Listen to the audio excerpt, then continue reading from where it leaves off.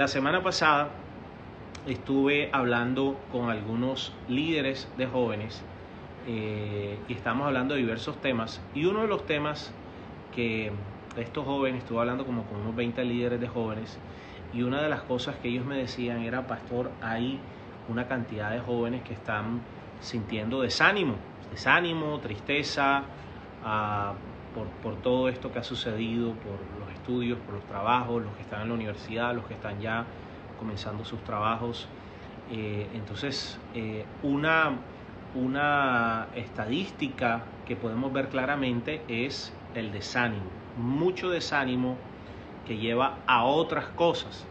Yo quiero hablar un poquito de eso, quiero, quiero hablarte qué sucede con el desánimo, por qué viene, qué produce el desánimo, porque el desánimo produce otras cosas aparte del desánimo, y quiero hablar eh, algunos tips que sé que nos van a servir para romper todo desánimo y para ir a nuevos niveles. Bien, quiero leer el libro de Números capítulo 21, el versículo 4. Dice, después partieron del monte de Or,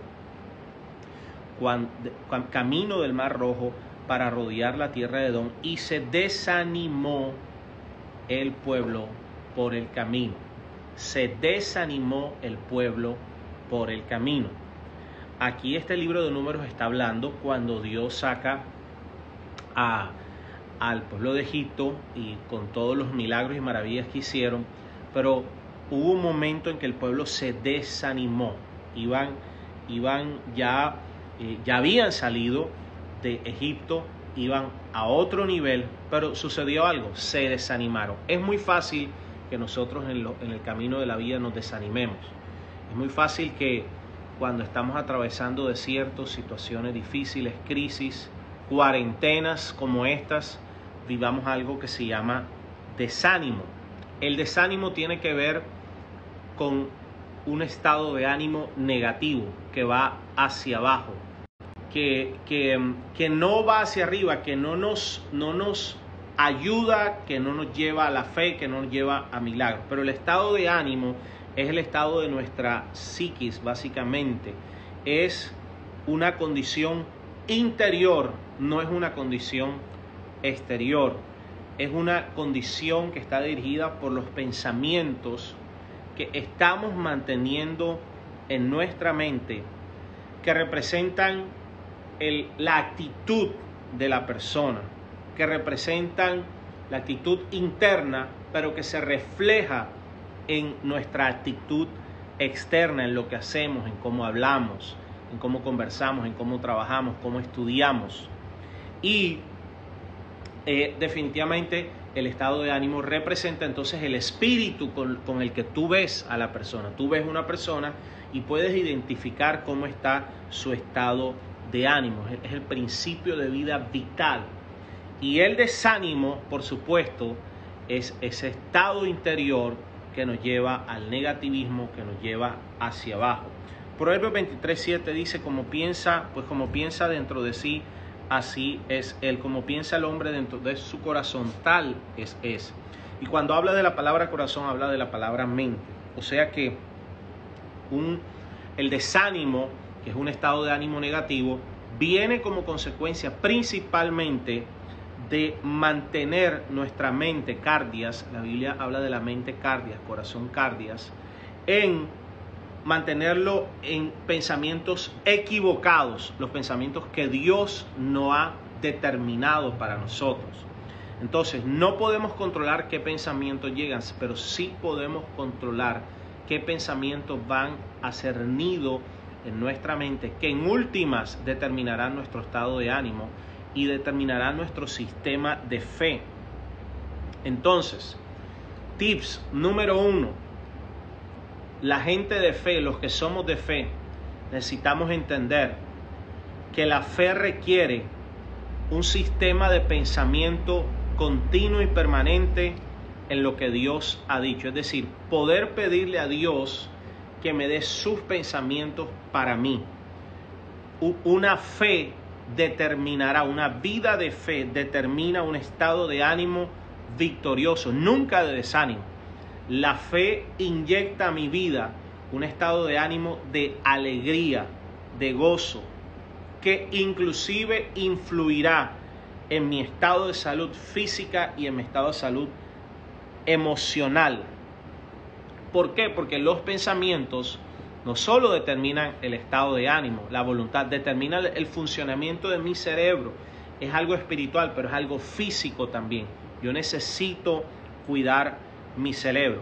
Por ejemplo, nosotros vemos en la Biblia que cuando Jesús va a Getsemaní, antes de ir a la cruz, dice que fue a orar con unos discípulos, fue a buscar a, a buscar dirección, a buscar fortaleza y dice que Jesús en ese momento de desánimo, de, agonía, de tristeza, él dijo, mi alma está muy triste hasta la muerte. O sea, ya, ya no era solo desánimo, sino que se fue a una tristeza profunda y que sudaba grandes gotas de sudor que eran como de sangre.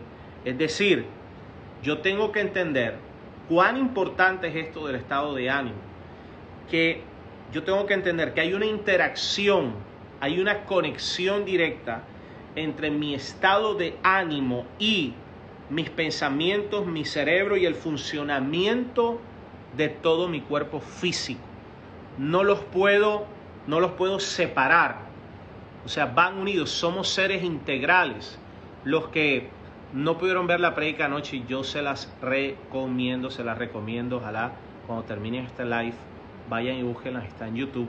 Porque eh, estuve hablando de lo que es la pandemia del terror. Estuve hablando de algo que se llama terror. Dios me hablaba esta semana que un, espíritu que ha venido sobre, sobre los países, sobre las ciudades, es un espíritu de terror. O sea, eso es más que desánimo, es algo más profundo. Y nosotros tenemos que entender que tenemos un, un enemigo. Se llama Satanás, se llama el diablo. Jesús le puso un nombre, él es el padre de mentira, él es el ladrón, él es ladrón, él es mentiroso, es padre de mentira. Todo lo que él viene a hacer es a robar, matar y destruir. Y su estrategia más común y más efectiva es atacar nuestro sistema de pensamiento para entonces poder llevar al piso nuestro estado de ánimo y nuestro sistema de fe.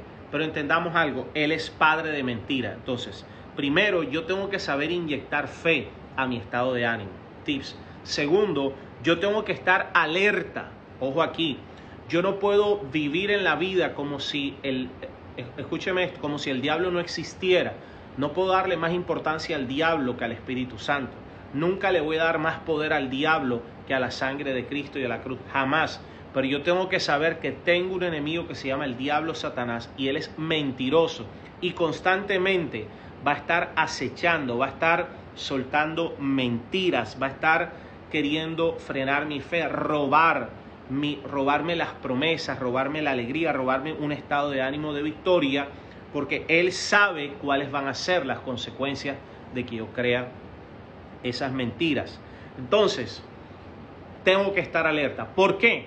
Porque si yo permito que las, esas mentiras hagan nido en mi corazón, un estado de ánimo, es normal desanimarse por algo. Lo que no es normal es estar permanentemente desanimado. Es normal que cuando venga una mala noticia, yo me desanime, no te pagaron dinero, no pudiste matricular a la universidad o algunos que eh, no han podido salir, o sea, hay diferentes cosas que nos desaniman. Lo que no es normal es mantener un estado de ánimo continuo, de desánimo, de tristeza. Eso me lleva a otras cosas porque del desánimo puedo pasar a una tristeza y la tristeza se convierte en algo destructivo cuando es permanente. Por ejemplo, una persona triste, estos son estudios científicos, una persona que camina entonces ya algo más profundo que el desánimo, que es la tristeza, interrumpe la liberación de las endorfinas y de las beta endorfinas, que son las hormonas del bienestar. Nuestro cerebro manda, fue diseñado por Dios para mandar endorfinas y beta endorfinas, que son sustancias que le dicen a tu cuerpo, a todo tu ser, a tu mente, a tus ojos, a tus oídos, a tu corazón, a los músculos, a los huesos, que todo está bien, que, que hay alegría, que hay victoria, que las cosas están bien. Es una sustancia química que libera nuestro cerebro. Entonces, cuando hay tristeza, la liberación de esas sustancias se cortan. Por eso una persona triste tú no la ves alegre. Por eso una persona triste tú no la ves riendo, tú no la ves alabando, tú no la ves adorando, tú no la ves dando gracias a Dios. Porque hasta físicamente se corta esa capacidad. Y ojo aquí, yo tengo que estar alerta porque del desánimo puedo pasar a la tristeza y una tristeza profunda me puede llevar a una depresión, lo cual es contagioso. Santiago 5, versículo 13, otro tipo para vencer el desánimo. Dice, ¿está alguno entre vosotros afligido? ¿Está alguno entre ustedes desanimado? ¿Está alguno entre ustedes triste? Pues haga oración, haga oración. Cuando Jesús estaba sudando grandes gotas de sudor como de sangre, dice que él fue a Getsemaní a orar. Inclusive reprendió, regañó a los discípulos porque vino una, dos veces y estaban dormidos. Él dijo, por favor, por favor, oren, yo voy a orar acá, porque la oración es un arma espiritual en contra del desánimo. La oración, escúcheme, el hablar con Dios, el entrar en intimidad con Dios, corta el desánimo, corta la fuente espiritual que está nutriendo mi desánimo. Porque cuando hablo con Dios ahora yo escucho su voz, escucho su reporte, escucho cuál es su punto de vista. Generalmente nos desanimamos porque tenemos un punto, un punto de vista inadecuado respecto a cualquier situación. Generalmente nos desanimamos porque tenemos el punto de vista erróneo.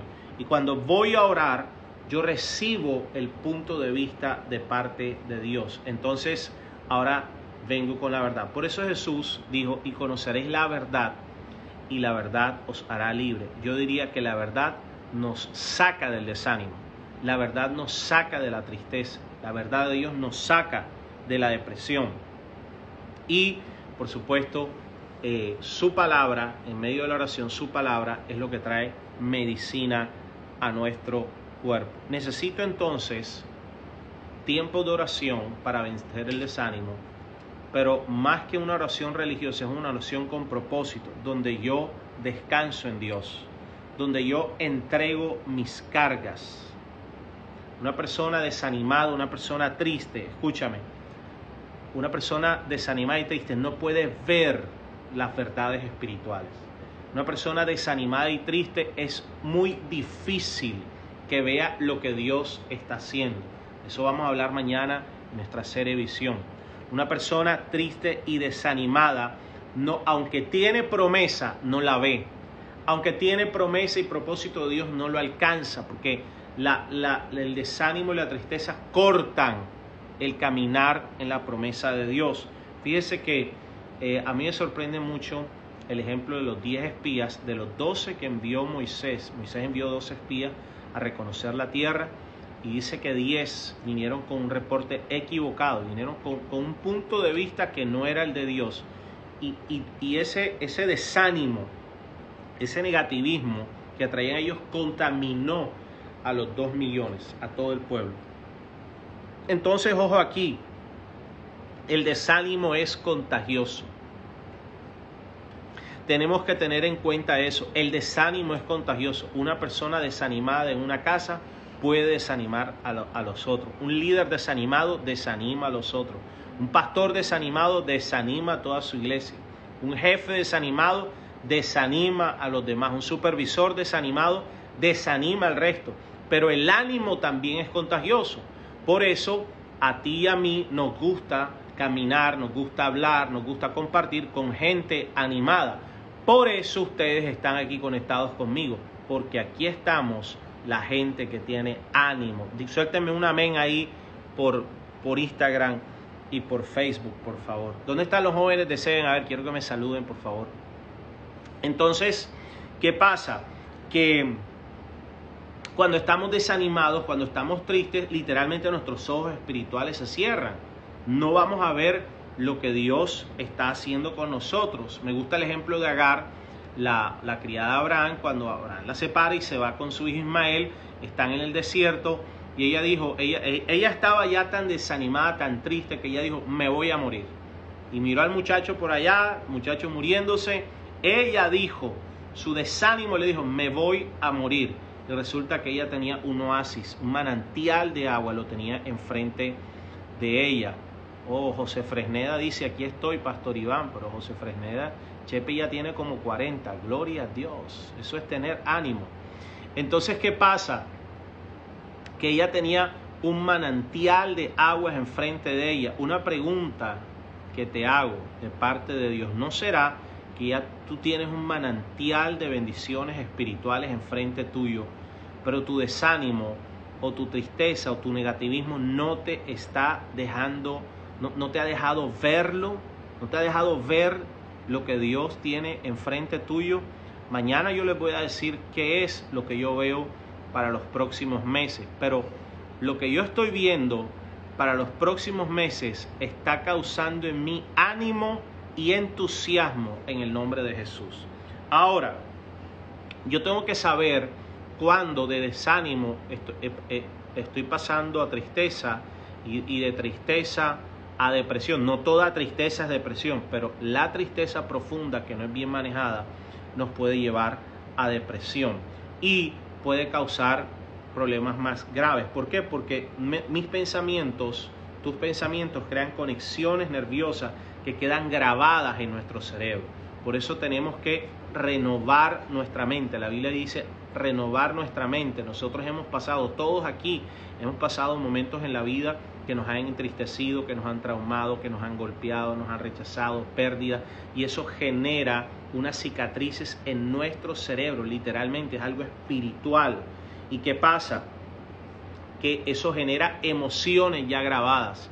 Imagínate una persona que, que, no sabe cambiar el estado de ánimo aún de su cerebro, que todo el tiempo está bajo, bajo impulsos y reacciones de temor, de desánimo, de negativismo, de ira, de falta de perdón, de derrota. O sea, es una persona que mentalmente no va a estar equilibrada y es una persona que aún físicamente no va a estar equilibrada. Por eso es que necesito, tip número 4, ya no sé si es 3 o 4, necesito renovar mis pensamientos con la palabra de Dios.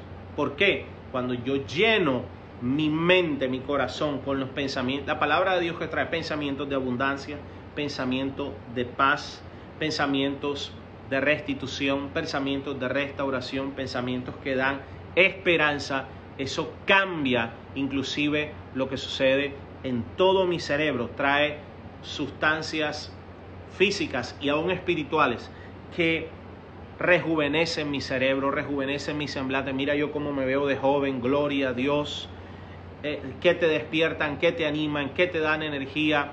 Por eso la Biblia dice que los que confían en el Señor seremos como las águilas, seremos rejuvenecidos como las águilas, porque es algo espiritual que tiene un impacto en lo natural. Entonces, tip número cuatro, necesito meditar continuamente en la promesa de Dios. El diablo va a traer las mentiras para desanimar, pero necesito meditar en la promesa de Dios. Aquí hago un, un anuncio no pagado 12 y 14 de junio empieza la EFI. Todos los jóvenes, jóvenes adultos, jóvenes de 70, jóvenes de 80, todo el mundo que no haya no se haya discipulado necesita ir a un discipulado. ¿Por qué? Porque ahí es donde voy a encontrar respuesta ante todo lo que me desanima de este mundo.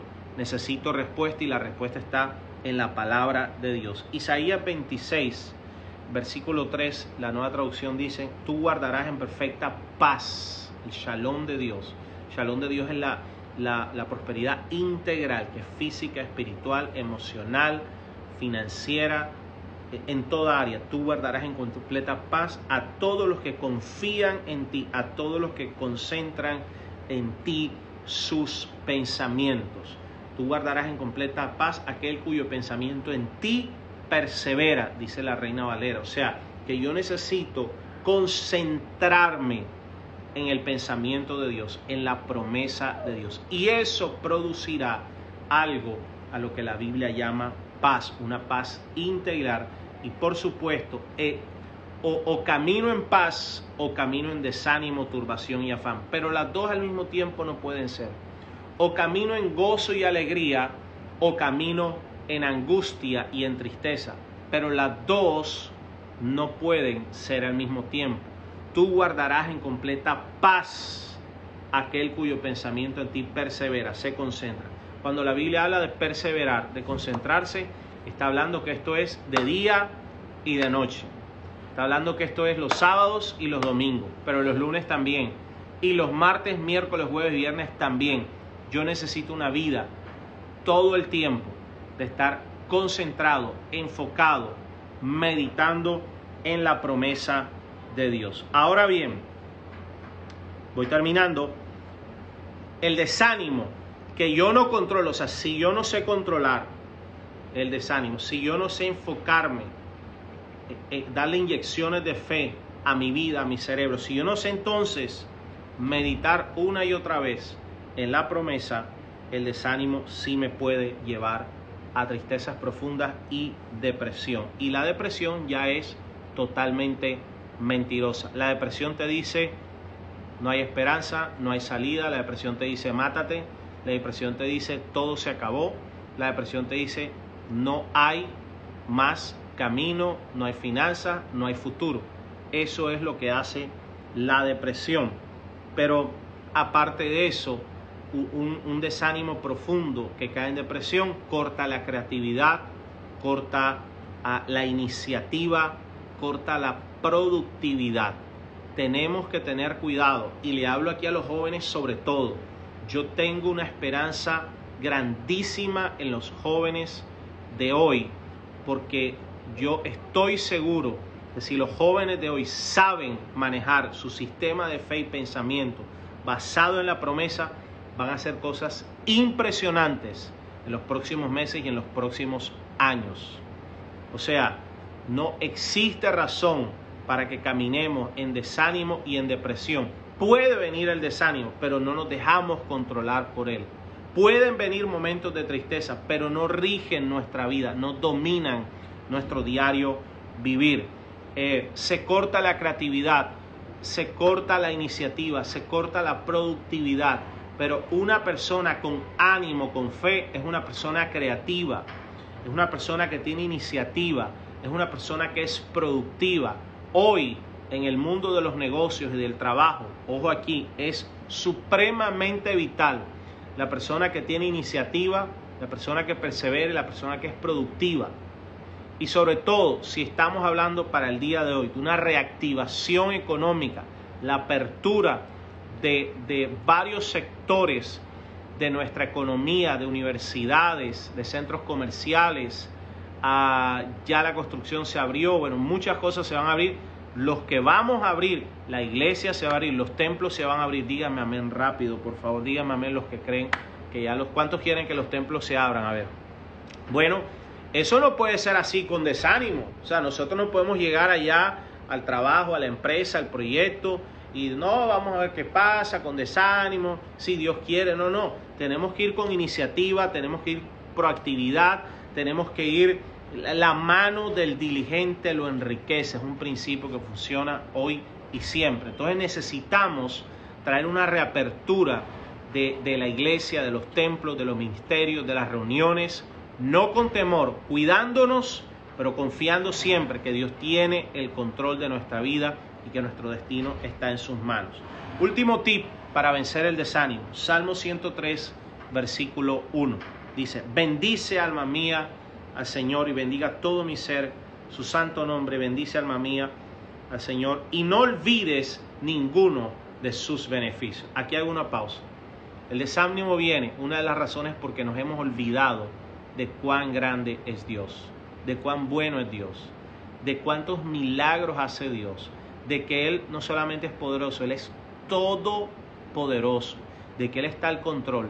Y por eso el salmista escribió, bendice alma mía, porque nuestra alma nos traiciona, nuestra alma nos confunde, nuestra alma nos dice, Dios no es bueno, Dios no lo va a hacer, Dios no ha cuidado de mí. Cuando un alma está desanimada, eso es lo que dice. Pero el salmista dijo, no olvides ninguno de sus beneficios. Él es quien perdona tus iniquidades, Él es que sana tus dolencias, Él es el que rescata del hoyo tu vida, el que te corona de favores y misericordias, el que sacia de bien tu boca de modo que te rejuvenezcas como el águila. En otras palabras, el desánimo bloquea tu vida de adoración a Dios. El desánimo bloquea tu vida de darle gloria a Dios. Pero nuestra alma nunca jamás puede olvidarse de sus bondades, de sus maravillas. A esta hora, antes de terminar, voy a orar tres minutos con ustedes. Pero antes de orar, el Espíritu Santo le está recordando a alguien en este momento cuán bueno ha sido Él. Te está recordando cómo te ha abierto puertas. Te está recordando de cómo te ha sacado del hoyo una y otra vez. El Espíritu Santo te está recordando porque tal vez te habías olvidado. Te está recordando de cómo ha bendecido a tus padres, cómo ha bendecido a tus hermanos, cómo ha bendecido a tu familia. Te has olvidado de cuán grandes son sus maravillas. Te has olvidado, mira, a pesar de la pandemia, del COVID, de, todos los, los fallecidos que ha habido en el mundo, Dios sigue siendo bueno. Nuestro Dios, el Dios al que nosotros servimos, nuestro Jesús, el Dios que nos salvó, que nos llamó, que nos rescató, el Dios al cual adoramos, el Dios al cual servimos, servimos, haya dinero o no haya dinero, haya ministerio o no haya ministerio, estén abiertos los templos, estén cerrados, haya universidad o no haya universidad. Él sigue siendo bueno, Él no cambia, yo soy Jehová, no cambio, Él sigue siendo el mismo, Él es fiel a pesar de nuestra infidelidad. Y hoy quiero terminar este live diciéndote, no te olvides, no te olvides de ninguno de sus beneficios, porque los días que vienen serán días donde los que tengamos el estado de ánimo adecuado, un estado de ánimo de fe, veremos los beneficios del Señor a gran escala. Veremos puertas abiertas. Miren, yo voy a atreverme a decir algo, ya lo dije, pero yo te digo algo, yo me, yo me he retado yo me he retado con Dios yo mismo, porque esto para mí es un nuevo reto, pastorear una iglesia que no se congrega en los templos, no hay discipulados eh, eh, en los salones, no hay grupos de conexión en las casas, todo online. Para mí ha sido un reto, pero yo dije, Señor, este será el año. Yo dije, este será el año donde tu iglesia a mí más crecerá. Este será el año donde más grupos se abrirán. Este será el año donde más gente se disipulará. Este será el año donde más gente se restaurará en transformado. Y este será el año, no terminará este año, que esto quede grabado aquí, no terminará este año sin que lleguemos a nuestro templo y ya todo esté normalizado y veamos los servicios más grandes que jamás hayamos tenido. Y yo le dije al Señor, ¿sabes qué, Señor? Yo tengo también mis ingresos, tengo mis negocios. Claro, muchas cosas se pararon, pero dije, Señor, este va a ser el año donde sobrenaturalmente tú me darás a mí mayores ingresos. Este va a ser el año que aunque las puertas financieras se cerraron para la iglesia en muchas cosas, abrirás puertas que jamás has abierto. Mis hermanos, en la vida hay días malos. Nos tocó el día malo este año. Nos tocaron varios días malos. Pero mis hermanos, aunque la noche sea oscura, viene la mañana de la alegría. Yo quiero orar con alguien que ha estado desanimado. Yo he estado desanimado, pero he estado en batalla, he estado en guerra. El desánimo no me va a ganar, la tristeza no me va a ganar, la desesperanza no me va a ganar, bendito sea Dios. Hoy te digo, la tristeza no tiene poder sobre tu vida, el desánimo no tiene poder sobre tu vida.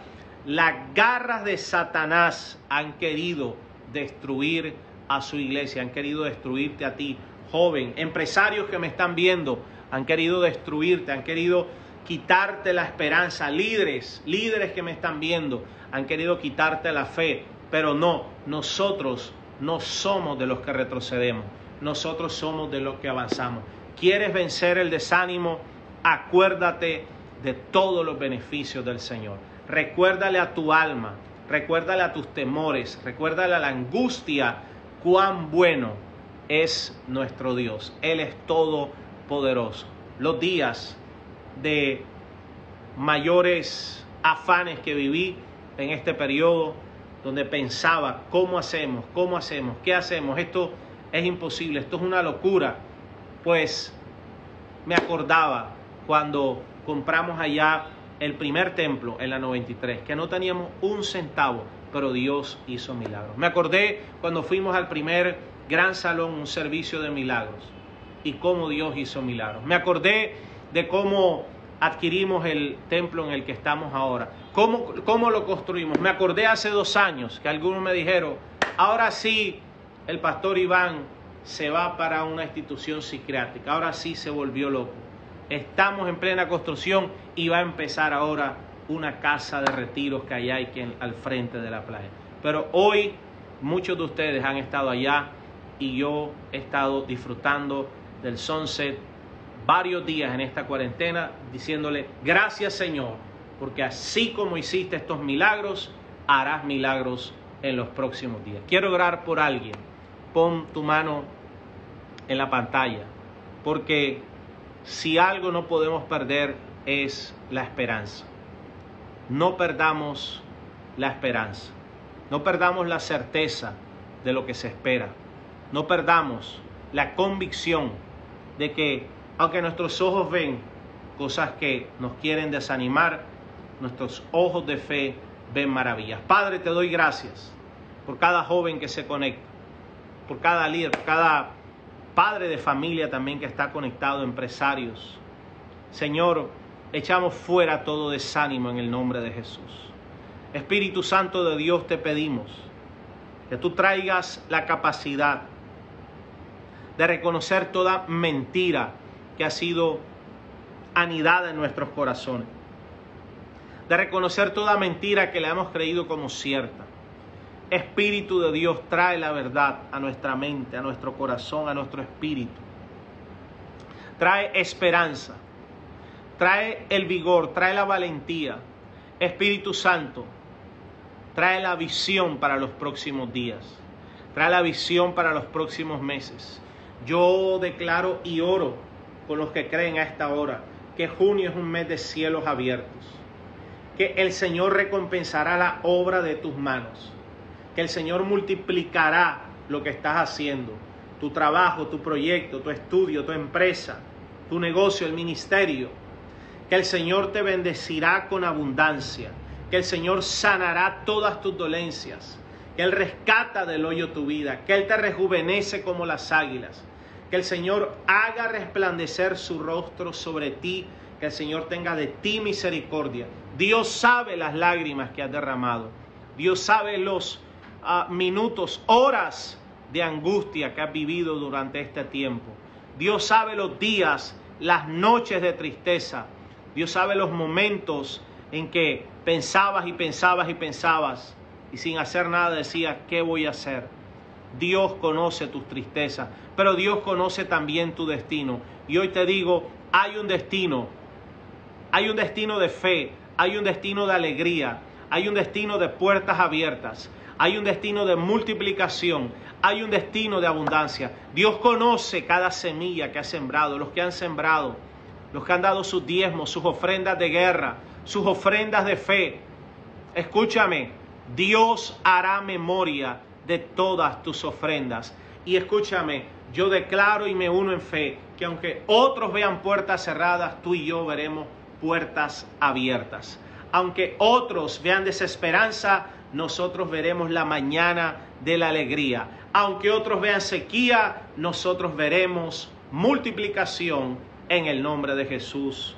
Amén y amén. Bueno, los que reciban esta palabra, denme un amén poderoso y por supuesto, los que la crean y quieran acompañarla con una ofrenda de fe, de guerra, pues hazlo porque ya Dios nos dijo que los días que vienen son los días de mayor cosecha, así que este es nuestro tiempo de siembra. A todos les amo, les bendigo. Jóvenes, los jóvenes de Seven, que quise hacer este live para ustedes, los bendigo y creo firmemente que los meses que vienen van a ser protagonistas de los más grandes milagros que Dios hará en nuestra iglesia y en su casa, sus universidades, sus trabajos. Que el Señor les bendiga y les guarde. Que el Señor haga resplandecer su rostro sobre ti. Que el Señor tenga de ti misericordia. Que el Señor te dé paz y que el Señor cumpla el deseo de tu corazón. Sean bendecidos.